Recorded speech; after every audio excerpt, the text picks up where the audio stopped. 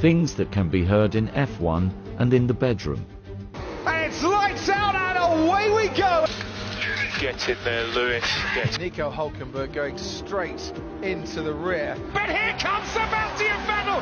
And seven DNFs become eight. And I've got to stop because I've got a lump in my throat. He pulls out late once again, and he's got the job done. And Vettel and Verstappen come together. Okay, is hammer time.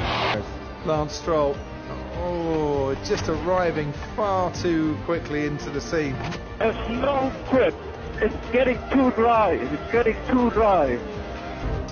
This is the worst experience I've ever had. Norris hasn't got as much experience in this sort of situation. That could be an unsafe release. Uh, keep going, keep going for now. Keep I going. can't, it's broken! It's broken!